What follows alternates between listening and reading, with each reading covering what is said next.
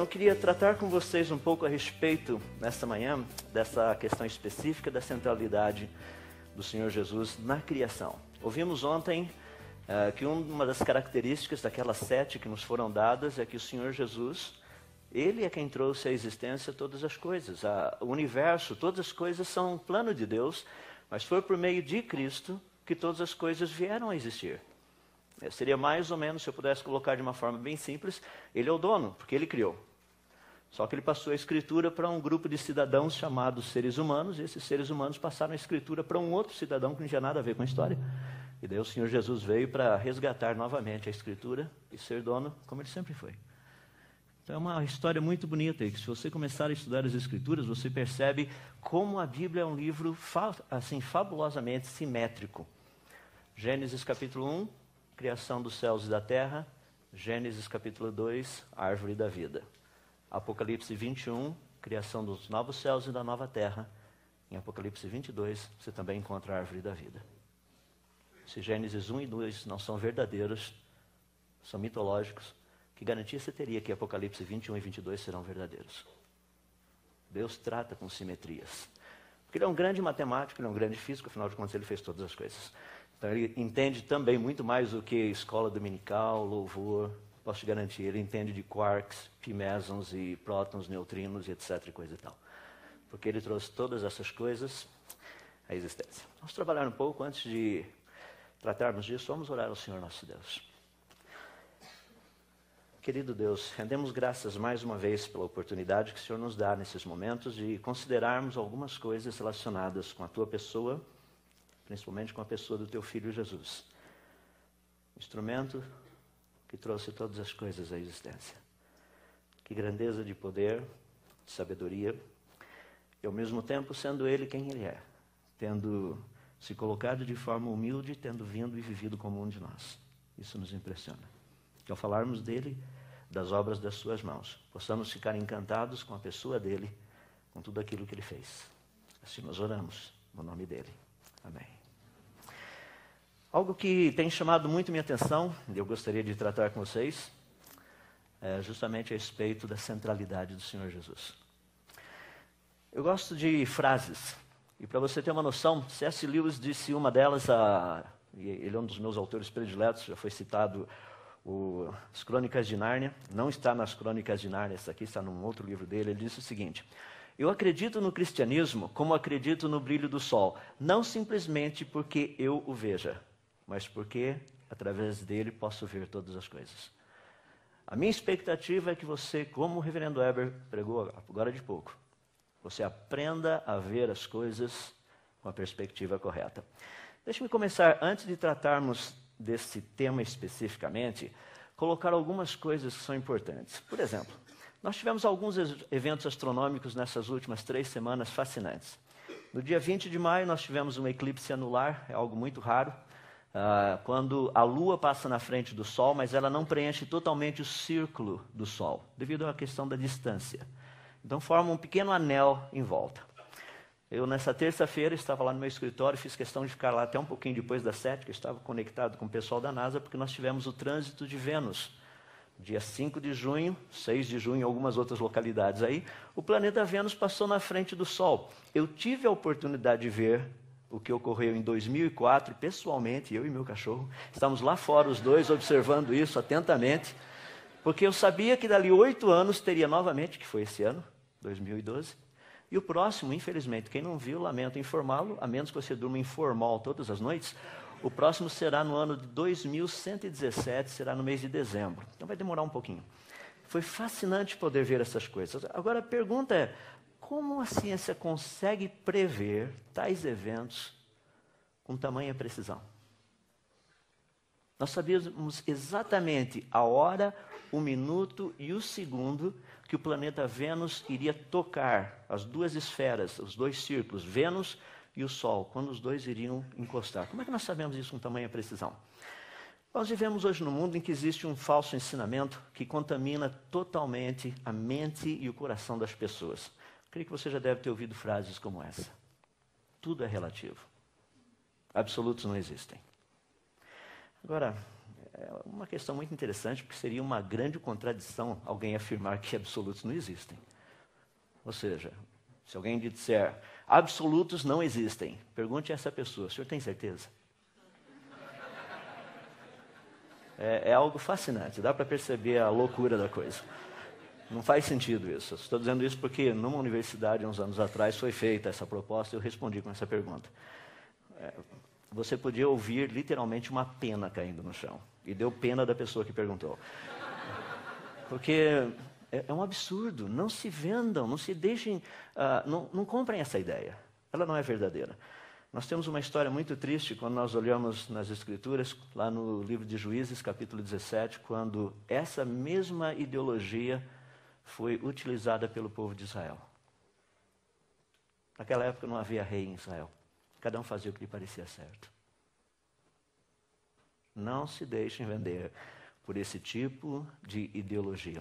O que está sendo colocado aí é que, não, tudo é relativo, tudo é relativo. A ciência mostra isso. Pelo contrário, olha essa ideia do relativismo e a teoria da relatividade.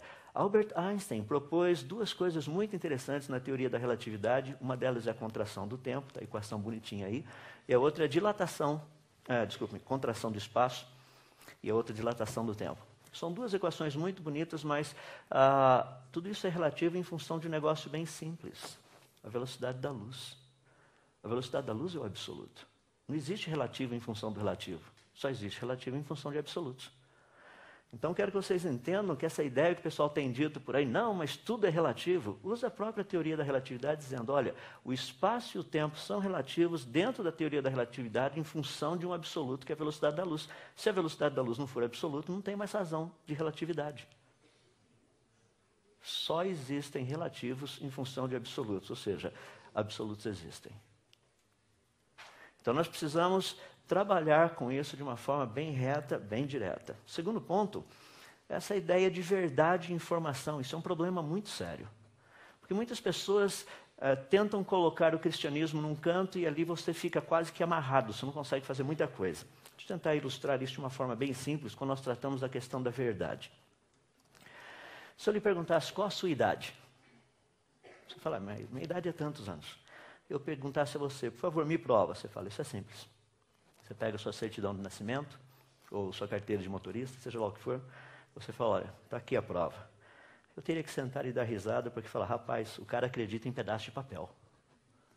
Sua certidão de nascimento nada mais é do que um pedaço de papel.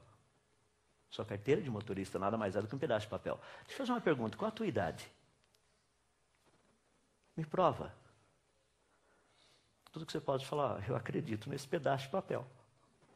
Isso é o que você acredita. Só se você chega e fala, não, pera, tem mais. Eu tenho meu pai e minha mãe. Interessante, agora você acredita em testemunhas também. Então você acredita em pedaço de papel, de testemunha. Olha que coisa absurda. Por um acaso a Bíblia também não é papel que testemunhas falaram a respeito? As pessoas não creem nas Escrituras porque elas não querem crer. Essa é a única razão. Foi escrito, está lá. Quando nós tratamos dessa questão, portanto, de verdade e informação, é necessário entendermos como que o mecanismo funciona. Nós cremos em muitas coisas. Por exemplo, obviamente, o tempo está encoberto ali fora, mas se eu lhe perguntar, o sol está brilhando agora? Por exemplo, lá em São Paulo, está pertinho daqui, né? Obviamente não está um dia ensolarado lá em São Paulo, como vocês estão vendo aí na foto. Mas é, se eu lhe perguntar, o sol está brilhando agora? Resposta científica: não sabemos. Fala, mas como não sabemos? Está claro. Não, é que a luz que está chegando aqui saiu do Sol há 8 minutos e 19 segundos atrás. O que eu sei é que o Sol estava brilhando há 8 minutos e 20 segundos atrás, a mais ou menos. Agora eu não sei. Vai que ele explodiu. Daqui a pouco a gente vai ficar sabendo. Ou seja, eu não sei se o Sol está brilhando agora. Nós muitas vezes tomamos aquilo que nós não temos certeza como sendo verdade. A ciência nos ajuda a fazer essa diferença.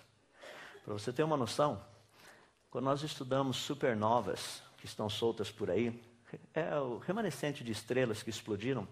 Essa, por exemplo, explodiu no dia 1 de maio do ano 1006. Tem essa outra aqui, dia 4 de julho de 1054. Tem uma outra aí que nós descobrimos há pouco tempo atrás, explodiu dia. Explodiu não, a luz chegou até aqui, né? Da explosão. Dia 31 de 7 de 2004. Tem uma outra que nós vimos no final do ano passado também, na parte mês de agosto. Em outras palavras, nós temos estudado coisas assim, muito interessantes, e só para você ter uma noção do que significa exemplos como esse. Ah, a foto que você está vendo aqui em cima, vou passar o mouse nessa parte aqui, foi tirada no ano de 1969. Eh, Tem uma pequena estrelinha ali onde eu estou com o mouse, nessa pontinha, estrelinha chamada Sandulik. Essa estrelinha, se você olhar na foto tirada em 1987, a foto aqui de baixo, você percebe o pontão ali, agora está fácil ver a Sandulik. É que a Sandulik explodiu. Ela literalmente transformou-se numa supernova. O fascinante a respeito disso é que, quando nós tiramos a foto no ano de 1969, nós estudamos essa estrela, nós sabíamos que ela era uma categoria B3, supergigante, uh, supergigante azul, várias características específicas, a distância mais ou menos dela até aqui na Terra. Então, nós estudamos essa estrela toda lá em 1969 e aprendemos muito a respeito dela, só tem um problema. É que em 1969 a estrela já tinha explodido. Nós estávamos estudando uma estrela que não existia mais. Estudamos, pensamos, que maravilha, Sandulik, olha lá, Sandulik. Deus falando, ela não existe. E a gente falou, mas Senhor Deus, a Sandulik. Deus falou, já explodiu. E a gente ali assim, sabe? É, isso é fascinante porque você começa a ter uma noção toda de um mecanismo muito interessante. Deixa eu tentar ilustrar isso de uma forma bem simples para você. Se nós fizéssemos a, segunda, a seguinte pergunta: Será que o universo ainda existe? Porque nós olhamos todas essas galáxias, esse tipo de coisa aí, mas espera aí. Nós não sabemos como essas coisas estão agora. Nós sabemos quando a luz saiu de lá. E agora, hoje, será que o universo ainda existe? A resposta é simples, é, nós não sabemos. Pode ser que sim, pode ser que não. E as pessoas aí, não, mas um dia o ser humano vai estar viajando pela. Por onde? Pela galáxia. Ué, será que as estrelas estão por lá ainda? A estrelinha mais próxima da gente, além do Sol, é Próxima Centauri. Se ela explodir agora, de que quatro anos e quatro meses nós ficaremos sabendo. Achou que legal mandar um grupo de, sei lá, astrólogos. A gente não manda gente séria, sabe? Então você pega astrólogos, coloca na nave espacial e manda lá para a estrela. E tem uma grande probabilidade deles chegarem mortos e nem voltarem. Então a gente não vai perder muita coisa. Manda o povo para lá, eles vão em direção e chega lá não tem mais estrela, só vai receber uma onda de choque vindo na direção deles, que foi da explosão da estrela. Afinal de contas, o que é verdade? A verdade sempre está presa na informação. A verdade só pode ser verdade se a informação for verdadeira. Porque uma informação falsa não vai lhe produzir verdade. Então você tem que entender esse mecanismo. O problema quando nós tratamos com todas essas áreas de conhecimento, como cristãos, é que nós temos que entender que nós todos somos tendenciosos. Nós gostamos de puxar a sardinha para o nosso lado. Se você tem dúvida, eu queria dar um exemplo bem simples. Nós somos bem tendenciosos. Tenta explicar racionalmente por que isso. Meu time do coração. Mas você fez uma análise probabilística para ver que aquele é o time que ganha mais vezes? Não, você não fez nada disso. Sei lá. A ideia principal é todos nós nessa nossa tendenciosidade, nós temos algo que se chama cosmovisão. É aquilo que domina a nossa maneira de pensar. São os óculos que nós usamos. Esse óculos que vocês estão vendo aí tem lentes cor-de-rosa. Óculos com lente cor-de-rosa, todas as coisas ficam cor-de-rosa. Elas perdem a cor real. Então, quando nós temos uma cosmovisão, e todos nós temos, eu não vou tratar desse assunto especificamente, mas eu só quero que você entenda, que a cosmovisão que cada um de nós possui, ela atua diretamente nas nossas preferências, nas escolhas que nós fazemos, na nossa percepção da realidade ao nosso redor, na informação que nós recebemos, até mesmo nas atitudes que nós tomamos, sem contar nas propostas que nós fazemos nos alvos que nós estabelecemos, no estilo de vida que nós adotamos e até mesmo naquilo que nós acreditamos. Uma cosmovisão, ela permeia todas essas áreas. E o que é importante nós aprendermos a ter a cosmovisão que vem das Escrituras. Como nos foi dito, saber pensar, raciocinar como Deus pensa, com a mente dele. É por isso que a Bíblia nos dá uma ênfase muito grande que hoje nós somos chamados para ter a mente de Cristo, para pensar como Cristo. Porque à medida que nós raciocinamos como ele raciocina, pensamos como ele pensa, nós entendemos que verdades existem, absolutos também existem. Todas essas coisas. Mas deixe-me fazer uma pergunta relacionada com isso, que é uma pergunta fundamental, porque você está aqui hoje com um propósito, talvez com muitas ideias. Segunda-feira nós estaremos de volta nas nossas atividades normais. E você aprendeu um monte de coisa, mas você também já sabia um monte de coisa antes de chegar aqui. A pergunta que eu gostaria que você pudesse parar e pensar um pouco é essa: afinal de contas, como você sabe que o que você sabe é verdade? Como você sabe que o que você sabe é verdade? Deixe-me colocar de uma forma específica, dentro da área das ciências, que eu queria tratar a respeito desse contexto da centralidade de Cristo na criação. E hoje nós somos bombardeados com informações científicas. Agora, nós precisamos entender o que é ciência e o que é preferência científica. São duas coisas diferentes. Por exemplo, um dos mais conhecidos ateus da atualidade, uh, Richard Dawkins, ele há pouco tempo disse algo muito interessante. Ele disse assim, que Darwin literalmente chutou Deus para fora da biologia. Mas a física continua um pouquinho mais duvidosa. É que os físicos pensam mais. Ele diz o seguinte: não estou falando sério, não estou brincando, não. Ah, sei que vocês estão achando de errado. Eu até brinco com o pessoal, quer ver como eu sou sério nisso daí? Isso aqui não é biologia, isso aqui é física.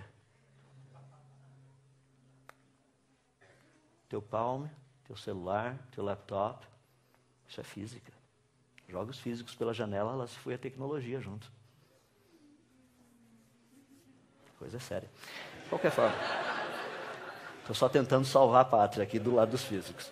Mas olha o que Dawkins colocou. Ele falou: Darwin praticamente chutou Deus fora da biologia. No entanto, Hawkins, Stephen Hawking, é quem agora está administrando o chamado coup de grace, ou seja, aquele golpe de misericórdia. Olha o golpe de misericórdia. O, livro, o último livro dele, do Stephen Hawking, chamado Deus, um Delírio. Ele diz o seguinte: criação espontânea é a razão do porquê coisas existem e não nada. Por que o universo existe? Por que nós existimos? Criação espontânea? Isso não faz sentido. Se a criação não foi espontâneo. E se é espontâneo, não pode ser criação. Isso é loucura. Seria mais ou menos como eu perguntar para você: qual a cor amarela do céu azul? Você fala, ficou louco? É, eu devo estar delirando. Uma outra, não é necessário invocar a Deus para acender o estupim e fazer com que o universo funcione. Claro que não, é só mostrar como o estupim foi aceso. Isso é bem simples, é bem básico. Agora, a última foi a que mais deixou assim. Porque existe uma lei como a gravidade, o universo pode e se autocriará do nada. Como é que é? Peraí, vamos fazer o seguinte: eu vou te dar um montão de nada. Daí você faz o que com esse montão de nada que eu te dei? Não, primeiro defina o que é um montão de nada. Qual a diferença entre nada e um montão de nada? O que um montão adiciona ao nada? E como que o nada, sendo nada, produziria algo que não é nada?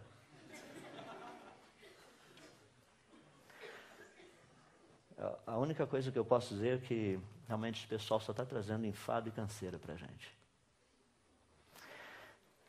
Tem um outro matemático bem conhecido, eu creio que vocês já devem ter ouvido falar dele, o Dr. John Lennox. Ele disse o seguinte: Hawkins, uh, Stephen Hawking e outros não perceberam que a ciência deles não responde à questão do porquê alguma coisa existe e não nada. Pela simples razão que a ciência deles não consegue responder essa questão. Eles também não perceberam que a cosmovisão ateísta deles, que exclui Deus, é por suposição e não por razões científicas. Eu quero deixar claro para vocês, eu trabalho com um pessoal de laboratório aí, os, todos os crentes que estão lá conhecem bem essa ideia. Eu digo todos os crentes porque tem aqueles que creem que Deus existe e aqueles que creem que Deus não existe, mas são todos crentes. Os que creem que Deus não existe são nominalmente chamados de ateus, mas são crentes eles acham que Deus não existe. É impossível provar empiricamente que Deus não existe. Você precisa ter fé para isso. Então não tenha medo de ateu. Pode chegar e conversar reto e direto. Falar assim: olha, feliz primeiro de abril. Você fala, não entendi. É, é o dia dos ateus. Você fala, por quê? Porque na Bíblia diz, diz o tolo no seu coração, não a Deus. Primeiro de abril é o dia do tolo, então é o dia deles. Eles podem curtir bastante o dia primeiro de abril. Ah, você fala, não, o cristão tem que tratar com amor. Claro, a gente está sendo amoroso. Que mais? Ah, bom, entender o espírito da coisa. Deixa eu me colocar para vocês, portanto, o que a ciência tem visto a respeito dessas questões. Dentro das muitas áreas de estudo, quando nós tratamos da criação, Deixa-me dar apenas alguns argumentos, são argumentos filosóficos. Vou dar cinco deles que são básicos, são bem conhecidos, não são difíceis. Por exemplo, o argumento teleológico que afirma a ideia de coisas completas e perfeitas. Se existem coisas completas e perfeitas, é porque tem que ter um padrão de perfeição em algum lugar. Eu não teria condição de saber se algo é perfeito, está completo, se eu não tivesse um padrão. Mas por, pelo fato de um padrão existir, é possível saber se coisas são completas e perfeitas. O argumento estético fala a respeito de beleza, fala a respeito de verdade, porque se existe a ideia de alguma coisa estética, ou seja, de beleza e verdade, porque existe um padrão para isso. Quando nós tratamos do argumento evolutivo relacionado com escolha e vontade, se existe escolha, se existe vontade, é porque existe uma vontade absoluta por trás de tudo isso. Tem que ter. Questão de um argumento moral, a ideia de certo e errado, quem define o que é certo e errado? É porque existe um padrão moral de certo e errado que vai além da gente. Tem que ter. O próprio argumento cosmológico de causa e efeito talvez seja um dos mais importantes e um dos mais utilizados na ciência. Deixa eu ilustrar esse último dentro de algumas áreas da ciência especificamente. São alguns argumentos totalmente favoráveis a respeito da criação. Esse universo, a vida, eles foram criados. Quando nós olhamos, por exemplo, Albert Einstein tratando dessa questão, ele diz algo fascinante sobre o universo. Ele diz assim: que a coisa mais incompreensível a respeito do universo é que ele é compreensível. Como é que pode uma coisa dessa? Imagina que legal, você pega um monte de coisinha, joga lá e aquele monte de coisinha sempre cai de forma organizada. Você fala, não, tem que ter alguma lei por trás disso aqui. Sim, obviamente. Ah, ah, o universo, ele faz sentido. O que não faz sentido, eu já tenho dito várias vezes, tenho ilustrado várias vezes, é a teoria da evolução. Dentro da teoria do, do evolucionismo, que é uma, um chavão muito geral agora, não trata mais da parte biológica, porque tratamos da evolução do universo, evolução das galáxias, evolução das estrelas, evolução sei lá do que. Só não trata da evolução da mente humana, porque a gente está indo na direção contrária. Mas todas essas evoluções estão saindo por aí. A ideia principal é, não, mas o universo evoluiu. Teoria do Big Bang. No universo existem três vezes mais estrelas do que. Desculpe, é três vezes mais estrelas, correto?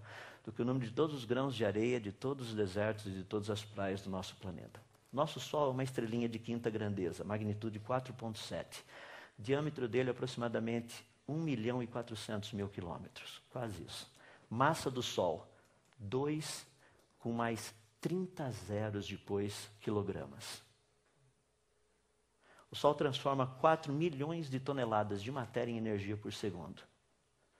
Isso é apenas uma estrela e uma estrela pequena. No universo existem trilhões de quadrilhões de quintilhões de estrelas.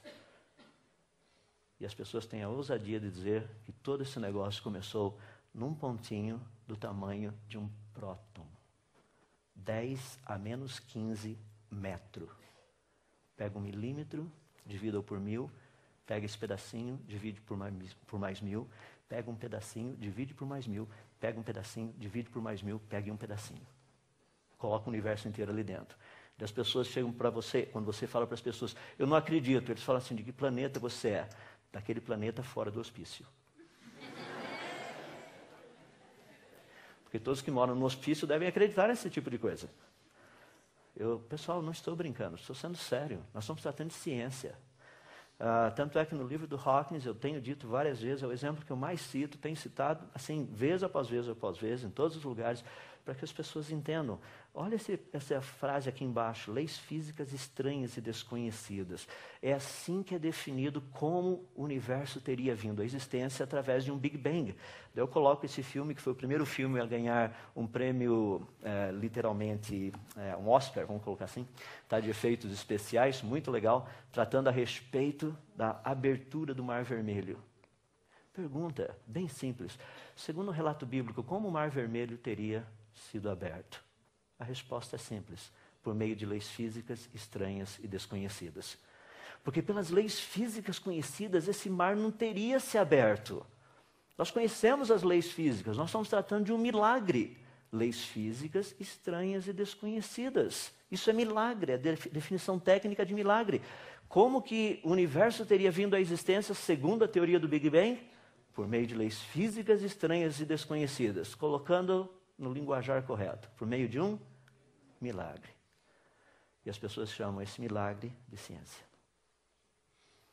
Ciência não trata com milagres. Não é a área dela. A ciência trabalha com evidências, a ciência trabalha com leis. A ciência trabalha com coisas práticas. Por exemplo, algumas leis para nós pensarmos aí. As leis da termodinâmica. Só por essas leis já fica resolvido de uma forma simples e clara a respeito da origem do universo. Nós conhecemos a primeira lei, a segunda lei. A primeira lei praticamente diz que a energia total do universo é constante. Apenas o que o universo faz é transformar um tipo de energia em outro tipo de energia, e à medida que essas energias vão sendo transformadas, a qualidade da energia, o tipo de energia se torna menos aproveitável para produzir trabalho, para fazer alguma coisa. Em outras palavras, se o universo ainda tem alguma energia aí, que é possível utilizá-la, é porque lá no passado um tipo de energia básica original teve que ser criado. Isso é óbvio, vem direto da lei. Energia foi criada, porque o universo não está criando energia do nada. Ele só está pegando a energia que já existe e transformando essa energia em outros tipos de energia. Segundo a lei da termodinâmica, quando diz que a tendência de todos os sistemas deixados por conta própria é ir do organizado para o desorganizado, fica mais evidente ainda. Se o universo tem alguma organização, e o universo é um sistema fechado, se ele tem alguma organização, é porque no passado ele foi mais organizado, ou seja, ele teria sido mais organizado ou menos organizado. A resposta científica é clara. Quanto mais no passado você for, mais organizado o universo teria que ter sido. Por quê? Segundo a lei da termodinâmica. É uma lei comum. Nós encontramos isso em todas as áreas, estudamos isso o tempo todo. Ela tem sido dita de várias formas e de várias maneiras por vários cientistas. Rudolf Clausius diz que se a energia do universo, se a energia total do universo é constante, a sua entropia sempre irá tender para o máximo. Ou seja, a sua capacidade de desorganização. Helmholtz diz que, sendo que o universo caminha continuamente para um estado de desorganização, ele deve ter sido energizado em algum tempo, lá no passado finito, por meio de um processo, alguma coisa, que tenha violado a segunda lei da termodinâmica. O que ele quis dizer com isso? O universo foi criado. Sir Eddington disse a mesma coisa. Não existe nenhuma esperança para uma teoria se ela for contra a segunda lei da termodinâmica. Olha que maravilha. Você pega a teoria do Big Bang, que é o exemplo que eu mais dou pessoal, tum, explode o um negócio e aqui estamos nós. Vamos fazer o teste. Pega a sua bicicleta e tum, cai uma Harley Davidson do lado. É, pega lá o seu Fusquinha, tum, cai uma Ferrari aqui do lado. Fala para o seu pai, explode a sua mãe. Tum.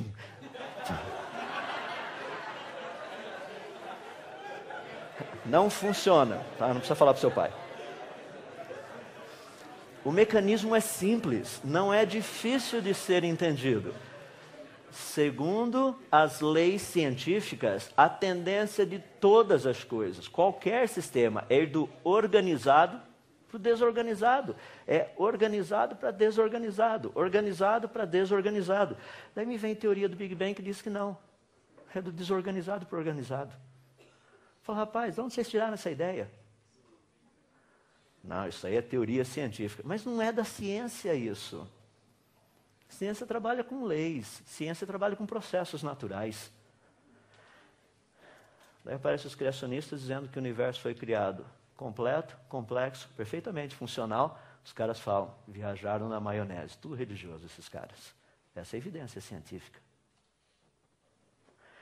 Não se deixem levar o universo foi criado. Nós sabemos disso. É evidência científica, nós estamos tratando com processos naturais e leis da natureza.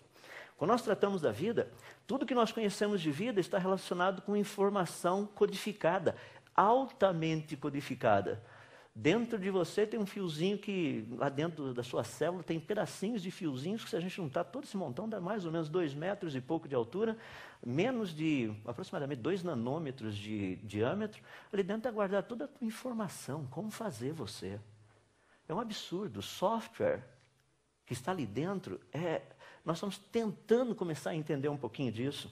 Temos aprendido a respeito dessa maravilha toda que somos nós, os seres humanos, é a criação toda ao nosso redor, as formas de vida biológica, estudando um pouquinho a respeito das células, dos genes, essa quantidade absurda de codificação, os genomas, uh, genoma humano principalmente, tem sido fonte de pesquisa, trabalhando um pouquinho das certas similaridades genéticas que tem. Certas coisas são muito parecidas uns com os outros. Por exemplo, eu tenho citado isso, citei o ano passado, a questão de sabermos que do DNA mitocondrial é possível claramente ver que todos os seres humanos vieram de uma única e mesma mulher. Nós não somos frutos de alguma coisa por aí, nós viemos de uma única e mesma mulher.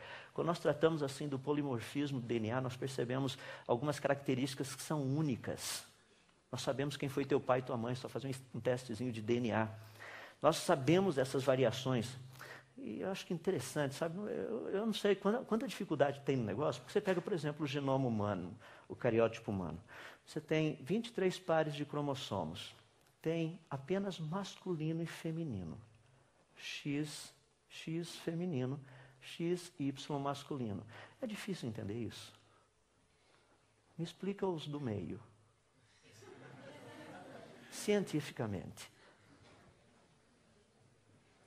Ah, não, mas é, é, uma questão genética. Não, desculpa, mas a questão da sexualidade é definida em cromossomos. Você não entendeu nada ainda. Estuda ciência. Existe XX e XY. YY não existe. Só tem essas duas possibilidades. É difícil? Não, não é. Quando nós tratamos a respeito dessa origem, portanto, pensa só, no cromossomo masculino 3 bilhões, 77 milhões de letrinhas genéticas perfeitamente organizadas. No caso das mulheres é um pouquinho mais, aquele famoso sexto sentido, que elas sabem exatamente o que nós homens estamos pensando, a palavra ainda não nos chegou à boca, elas já conhecem toda. Terrível isso. Mas é normal, eu acho que está relacionado com esses outros quase 100 milhões de bases aí a mais, eu não sei. Uh, Deixa-me fazer uma pergunta bem simples, como um matemático também, que Deus tem me dado a oportunidade de ser. Vamos fazer um joguinho. Você sabe que crente não aposta, mas agora a gente vai apostar. Ah, eu gostaria de fazer um pequeno joguinho contigo. Nós vamos pegar seis dadinhos, tá?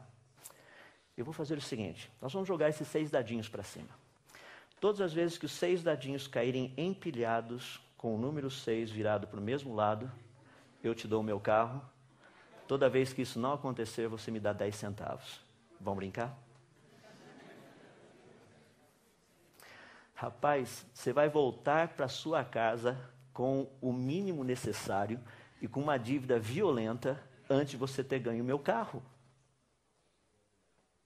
Eu não iria fazer uma aposta se eu não soubesse que eu estaria, teria certeza de ganhar. Tá? A probabilidade de eu perder é tão pequena, mas tão pequena que vale até a pena apostar. É por isso que eu falo assim: é só você saber um pouquinho, você sabe aonde você investe sua vida. Quando você conhece o cristianismo, rapaz, é uma covardia não apostar que ele está certo. É espetacular a coisa. A ênfase, a estrutura e tudo mais. Já imaginou seis dadinhos? Qual a probabilidade de eu jogar 3 bilhões, 176 milhões e 400 mil dadinhos e eles caírem todos perfeitamente organizados com as letrinhas certas para o lado certo?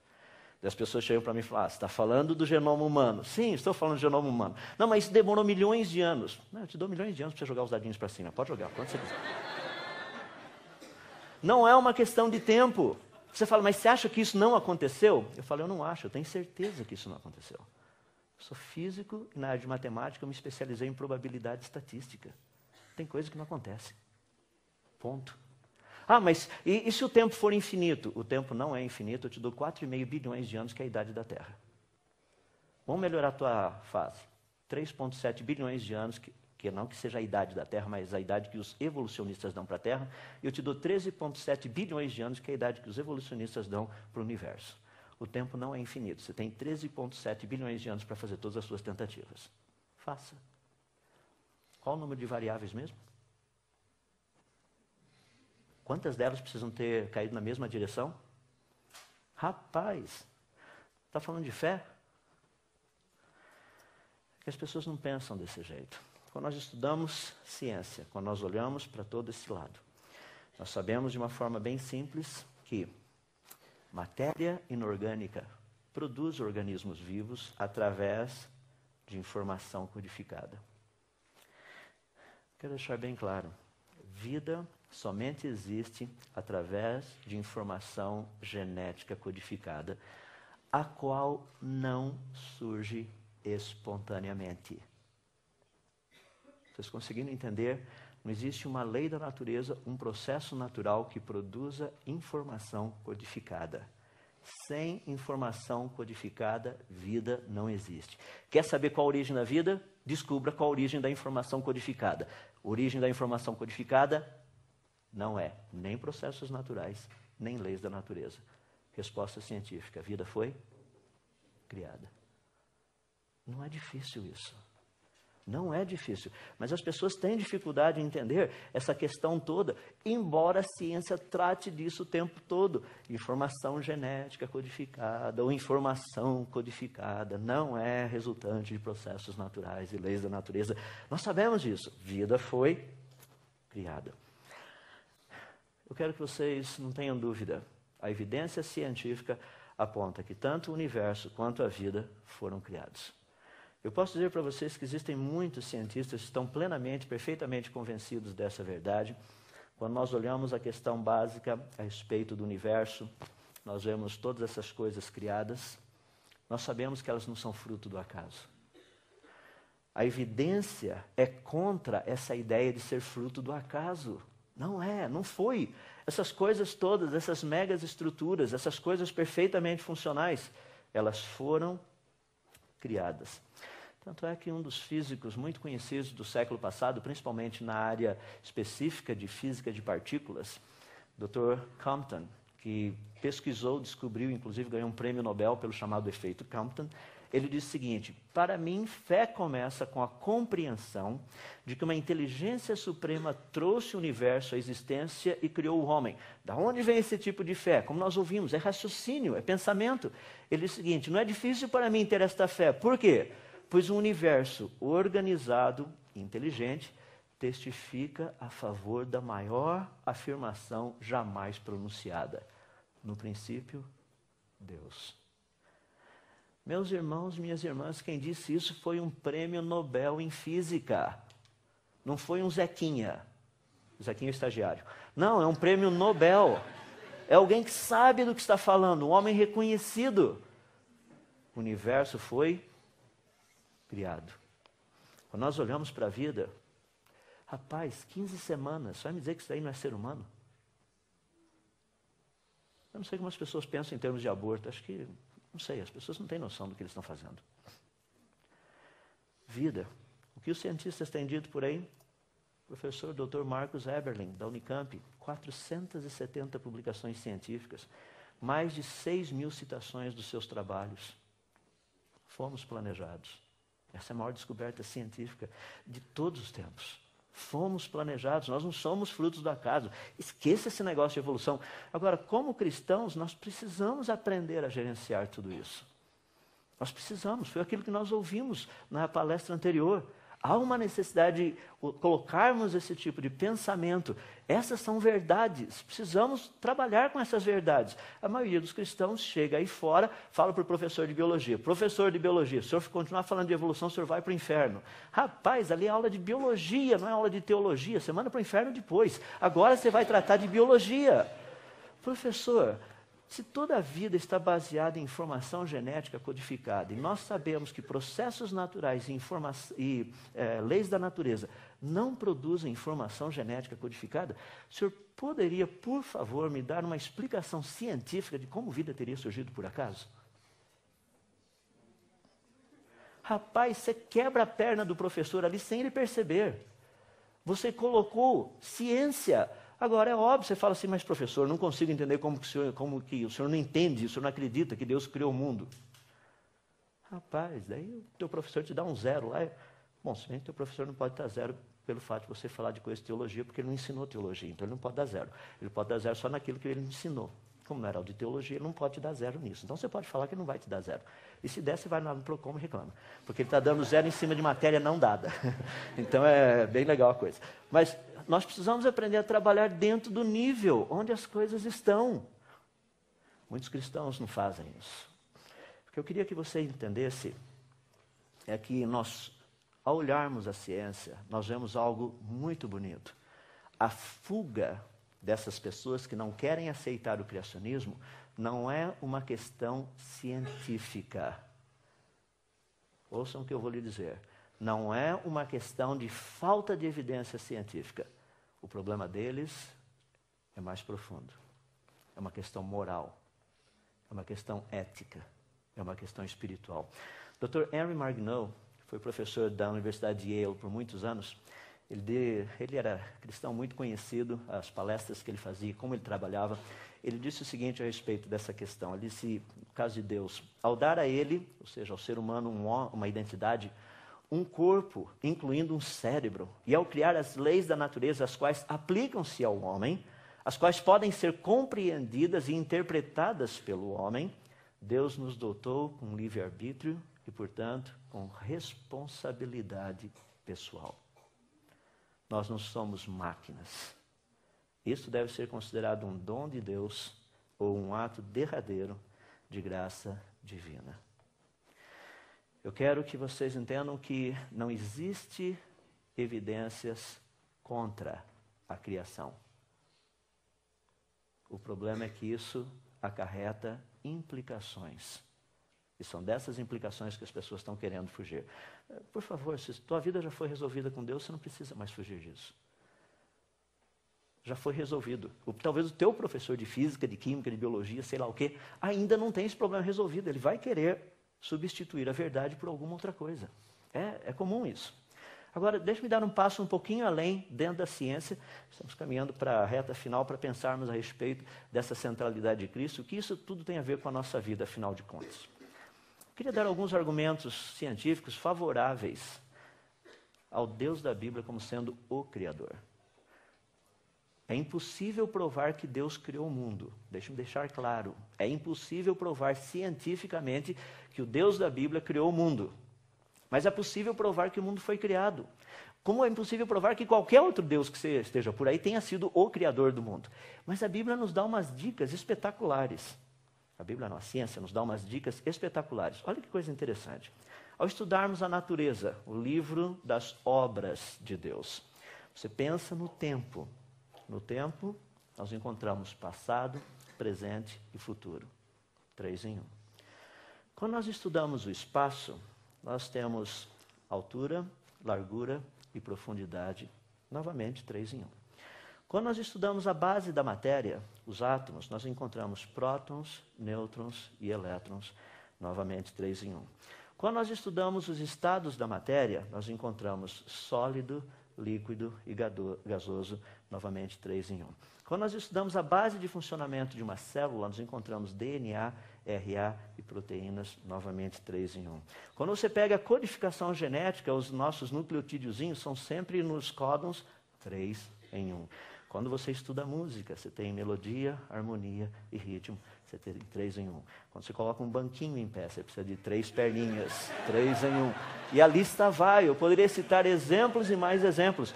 Qual a característica evidente da natureza? Três em um. Essa é a característica da natureza. O difícil é que se nós não tivéssemos a revelação, tudo que a gente poderia saber, e não tenha dúvida, a posição científica, se não houvesse Bíblia no planeta, seria o seguinte: quem criou é três em um. Essa é a evidência científica. Três em um. O mundo é três em um. Mas o que nós temos a Bíblia que nos conta a respeito disso. Ou seja, as duas afirmações que nós podemos dizer é que a Bíblia, naquilo que ela propõe, que o mundo foi criado, e que Deus, o Deus da Bíblia, criou o mundo. Daí você tem todas essas montoeiradas de religiões por aí, cada uma delas, pelo menos algumas delas aí, falando a respeito de esse Deus criou o mundo, mas qual delas estaria correta? O Deus da Bíblia, ele não é um Deus politeísta, não são três deuses. A Bíblia é monoteísta, é um Deus em três pessoas: o Pai, o Filho e o Espírito Santo. Ou seja, a característica principal e única do Deus da Bíblia é três em um não é difícil nós estudarmos a natureza e chegarmos a qual conclusão? O Deus da Bíblia é o Criador. Ele é o Criador. Agora, eu queria poder fechar dando a vocês a razão do porquê tudo isso é importante. Nós somos bombardeados com isso. Eu fui bombardeado com isso durante toda a minha vida, continuo sendo bombardeado, inclusive agora sendo criacionista, uh, muito mais ainda. As pessoas falam, mas como é que pode? Não é possível. Uh, pleno século XXI sendo criacionista. Eu viro para eles, mas como é que pode? Não é possível. Pleno século XXI sendo evolucionista. As pessoas falam, mas eh, vocês criacionistas são um grupinho vocês acreditam? Olha só, olha a quantidade de evolucionistas. Vocês acham que vocês estão certos? Meu argumento é reto e direto. Falo, olha, me desculpe, mas ciência não se ganha, não se prova sendo verdadeiro ou falso pelo número de adeptos. A gente vai para o laboratório. Ir? Vamos lá. Vamos fazer os testes. Por exemplo, você pega teu invertebrado, a gente vai sentar e ver o teu invertebrado virar no vertebrado. Fala, isso daí demora milhões de anos. Não, o tempo não faz isso. Estou esperando os processos naturais. Me diz quais processos naturais. Não, vão ser pequenas variações. É mesmo? Como é que funciona aquele sistema de autocorreção que tem no DNA? Quer tentar mais alguma coisa? Não, é, é seleção natural. Ótimo, a seleção natural sempre escolhe o funcional, certo? Sim. Aquele está melhor adaptado? Sim, o original. Quer tentar mais alguma coisa? Mas como é que você não aceita a evolução? Estou esperando uma evidência. Olha ao seu redor. Estou olhando, cadê? Eu não estou vendo nada de uma coisa virando em outra coisa, a não ser pequenas variações que já estavam previamente codificadas no material genético. Isso não é evolução. Não, mas você não consegue ver. Realmente, eu não consigo ver o que não existe, eu não consigo. Eu só consigo ver o que existe. Me dê as evidências, nós trabalhamos em cima. Então nós precisamos entender que essa luta que nós passamos de ideias, nós precisamos colocar na nossa mente para funcionar. Porque quando nós entramos nas Escrituras, a Bíblia fala muito clara a respeito da autoria da criação. Primeiramente, se você estudar lá em Isaías, a ênfase que Deus, Deus dava no Velho Testamento, uma ênfase muito forte, ele dizia o seguinte: Olha, eu sou o Criador, fui eu que fiz os céus e fiz a terra. Não são esses outros deuses aí, o Deus Tempo, por exemplo, dá bilhões de anos e tudo acontece, isso não existe. Porque o próprio tempo foi criado. Deus que é eterno, ele criou algo para mostrar a eternidade dele. Esse negócio que ele criou se chama tempo. O tempo foi criado. Deus é eterno. Como você traduz eterno dentro de um outro contexto? Você cria o tempo. Daí tem pessoas que ficam perguntando: quando que Deus criou? Quando que Deus surgiu? Deus é eterno, é o tempo que foi criado. O tempo é algo que Deus criou para que nós pudéssemos ter uma percepção, uma noção do que significa ser eterno. Ah, mas o eterno é um tempo sem limite. É, você está colocando um linguajar nosso, mas daí define um negocinho pequenininho de um negócio que é grandão. Não, mas é, é, é, assim que funciona. Deus é luz, é por isso que ele criou radiação eletromagnética. Ah, Deus é a radiação eletromagnética? Não. Ele criou um negócio para a gente entender, o que ele é. Deus não é radiação eletromagnética. Tem gente que chega vai, acha lá no céu, vai pegar um, né, um aparelhinho lá, nossa, olha só a radiância de Deus aqui. Não é assim que funciona. Ele é luz. O que foi criado, isso a gente mede. Ele nós não conseguimos medir. Porque ele é, ele criou algo que nós pudéssemos, talvez de uma forma assim palpável, se eu puder colocar nessas, nessa forma de expressar, quem ele é. Eu não sei o que é eterno, mas eu sei o que é um tempo muito grande. Eu não sei o que é luz, mas eu sei o que é radiação eletromagnética. É assim que Deus se expressa, Ele coloca isso. Ele faz questão de dizer no Velho Testamento: Eu sou o Criador de todas as coisas. Livro de Apocalipse do Senhor e Deus nosso, és digno de receber a glória, a honra e o poder, porque criaste todas as coisas e por tua vontade elas existem e foram criadas. Elas foram trazidas à existência porque o Senhor quer. E dessas três pessoas da Trindade, o que me fascina é o próprio Senhor Jesus, porque foi dito no princípio era aquele que é a palavra, que é o Verbo. Ele estava com Deus, ele era Deus, ele é Deus. Ele estava com Deus no princípio, Todas as coisas foram feitas por intermédio dele. Dele quem? O Verbo, o Senhor Jesus. Eu fico impressionado. Ele, sem ele, nada do que existe teria sido feito. Ele é o Criador de todas as coisas. Eu fico imaginando, rapaz, o que foi dito ontem à noite, era para ter todo lugar por aí aqueles outdoors gigantescos falando a respeito de Jesus, Jesus, Jesus, Jesus, mas as igrejas acham que não vale a pena investir nisso. Eles acham que isso é propaganda enganosa. Dizer que Jesus é o dono de todas as coisas é propaganda enganosa. Tá bom, então vamos dizer que nós somos frutos da evolução. Que legal. Meu avô foi uma ameba. Olha que passado brilhante. Será que meus tataranetos serão? Se você quer seguir o raciocínio, o raciocínio é simples. Tá? Jardim do Éden, a serpente disse para Eva o quê? Se vocês comerem desse fruto, vocês serão iguais a? Eles já eram. Deus os havia criado a sua imagem e semelhança, não dá para ser melhor do que isso. Aí teoria da evolução, não, você era aquela, sei lá, uma ameba da vida, foi evoluindo, evoluindo, evoluindo, você vai continuar evoluindo, nós não chegamos lá, nós vamos evoluir, evoluir até chegar a sermos o quê? Fascinante. A mesma mentira lá do Jardim do Éden, agora com capinha científica. A ideia é a mesma, não mudou. Não comprem essa ideia, porque Jesus é o Criador, Ele trouxe à existência todas as coisas. Nós vemos isso em João, nós vemos isso também em Colossenses. Nos é dito que ele é a imagem do Deus invisível, o primogênito de toda a criação, pois nele foram criadas todas as coisas no céu, na terra, visíveis e invisíveis, sejam tronos, sejam soberanias, poderes e autoridades, todas as coisas foram criadas por ele e para ele. Ele é antes de todas as coisas. Nele tudo subsiste. Meus irmãos, eu não sei porque as pessoas têm tanta dificuldade de chegar, falar a respeito do Senhor Jesus. Tem um amigo, não vou citar o nome, ele é bem conhecido, já falou em algumas conferências da Fiel, tanto aqui quanto fora também. Vamos falar o nome dele, vocês conhecem, Josafá Vasconcelos. Uh, Josafá, na época de universidade, ele tinha uma camiseta muito interessante, que as pessoas começavam a ridicularizar bastante, né, principalmente em termos de cristianismo.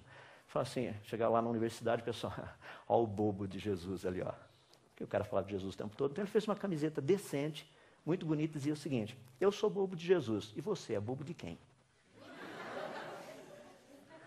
De quem que você gostaria de ser bobo? Meus irmãos, aquele que fez todas as coisas nos convida a pensarmos com Ele, a raciocinarmos com Ele. Essa foi a razão. Nós vimos ontem à noite. Terceiro ponto, quando fala a respeito dele, o Senhor Jesus, foi por meio dele que fez o universo. Agora, deixe-me falar e concluir falando sobre as implicações desse ensino. Porque isso é algo muito importante. Conhecermos que o Senhor Jesus é o Criador de todas as coisas. Ah, a Bíblia nos diz lá em Efésios capítulo 1 o seguinte: que Ele, Deus, pôs todas as coisas debaixo dos pés, dos pés do Senhor Jesus, e para ser o cabeça sobre todas as coisas, Ele o deu à igreja a qual é o seu corpo, a plenitude daquele que a tudo enche em todas as coisas. Efésios 3 fala o seguinte: que a intenção dessa graça, do que Deus está fazendo agora, era que, para mediante a igreja, a multiforme sabedoria de Deus se tornasse conhecida os poderes, os principados, das potestades nas regiões celestiais, em todas essas áreas. Meus irmãos, Deus nos deu um propósito. Há uns anos atrás eu estava lendo um livro muito interessante, já faz mais de 20 anos. O título do livro é O Grande Desastre Evangélico, escrito pelo Dr. Francis Schaeffer. Dá uma olhadinha na igrejinha, na capa desse livro. A igrejinha bonitinha e todo o resto detonado. Sabe por que disso? Porque a igreja foi chamada pelo Senhor Deus para influenciar a ciência, a filosofia, a arte, a educação, a economia, entretenimento, indústria, segurança, tecnologia. A igreja foi chamada para entrar em todas essas áreas. É que nós vivemos só de domingo. Não dá para fazer essas coisas no domingo de manhã na escola dominical, nem no domingo à noite no culto. A gente tem que fazer isso durante a semana. E é isso que eu gostaria de convidá-los. Quando nós entendemos quem é o Senhor Jesus, Ele, o Criador de todas as coisas, ele está num processo de restaurar todas as coisas. Ele quer que nós nos envolvamos com essas áreas. É que eu lamento um ponto muito interessante. A maioria dos cristãos olha para a igreja desse jeito. Eu gostaria de mostrar uma imagem real do que é a igreja. Essa é a igreja. Você fala, você está brincando. Não, não estou brincando. Olha o que Jesus disse uma forma muito simples e muito prática a razão do porquê ela existe. Jesus falando: Eu te digo que você é Pedro, Mateus 16. E sobre esta pedra edificarei a minha igreja. E as portas do inferno. Quais portas? Mídia, educação, cultura, política, arte, música. Dê o nome que você quiser. As portas do inferno não prevalecerão contra a minha igreja.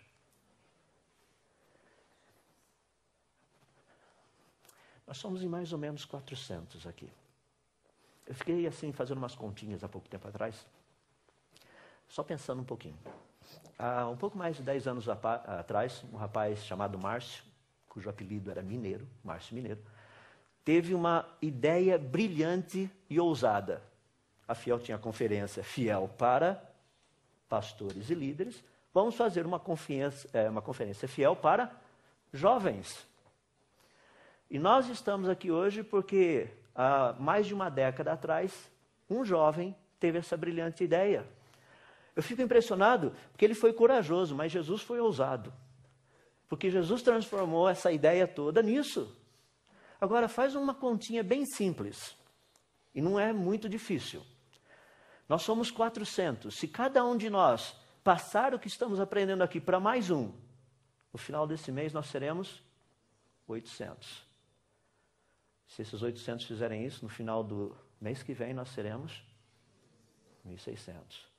Para fazer uma longa história curta, 2 elevado a 12, que seria lá em maio do ano que vem, seria 4.096 vezes 400, daria mais ou menos 1 milhão e 600 mil. Dá para imaginar o que não aconteceria nesse país se só 400. Eu fico pensando, senhor, 400 é muita gente. Por isso que Gideão pegou só 300. Ele trabalhou com os 300 e Jesus trabalhou com 12. E aqui estamos nós. E o que eu gostaria de concluir dizendo para vocês é o seguinte: aquele que criou todas essas coisas, que trouxe todos esses negócios à existência. Tudo isso. Pela palavra do seu poder. É o mesmo que disse: Eis que estou contigo todos os dias. Você consegue imaginar o que foi dito ontem quando o pregador estava falando? Imagina você vendo Jesus lá, mexendo os lábios e as coisas acontecendo. Imagina o dia que não tinha ninguém vendo e os lábios dele. Olha o que estava acontecendo a mesma palavra, o mesmo poder, o mesmo Cristo. Meu desejo é que nós não venhamos crer na mentira como muitos têm crido. Nós não somos frutos do acaso, fomos planejados, fomos chamados à existência para falar muito bem das qualidades e das características daquele que nos trouxe das trevas para a sua maravilhosa luz. Espero o ano que vem termos 1 milhão e 600 mil por aqui. Vamos orar. Querido Deus, nós somos gratos a Ti, porque a Tua palavra é cheia de encorajamento. Não porque ela promete coisas que são difíceis, mas porque ela promete coisas que são possíveis. Não porque essas coisas sejam possíveis por causa delas mesmas, mas porque o Senhor, que é o Deus que pode todas as coisas, disse que as faria possíveis. Cada uma delas. E nós te damos graças por isso. O fato dessa conferência existir é uma manifestação de que o Senhor é poderoso para fazer essas coisas. Eu fico imaginando que se de uma pessoa o Senhor pôde fazer isso, o que o Senhor não seria capaz de fazer de 400. Portanto, ó Deus, eu peço para que todas essas coisas que estão sendo aprendidas e vistas aqui possam ser elas assimiladas, incorporadas à vida, e que saiamos daqui entendendo e compreendendo a importância da centralidade daquele que trouxe todas essas coisas, todo o universo à existência. Também foi o mesmo que veio e se deu por nós, do qual nós não somos dignos, nem ao menos de mencionar o nome, mas pelo fato dele, que é o Filho amado, ter nos amado, hoje nós também somos amados por ti. Pelo fato de ser Ele o Rei, hoje nós podemos ter todas as coisas, porque Ele nos ama. E é por isso que nós queremos agora render graças e também exaltar o nome do Teu Filho Jesus, o qual, sem dúvida, é digno de toda honra, de toda glória, de todo louvor. E somos gratos a Ti, ó Pai, que foi dado a Ele, o um nome que está acima de todo nome, diante de quem um dia todo joelho se dobrará. Tem sido um prazer servi-lo e queremos continuar assim. Em nome dele oramos. Amém.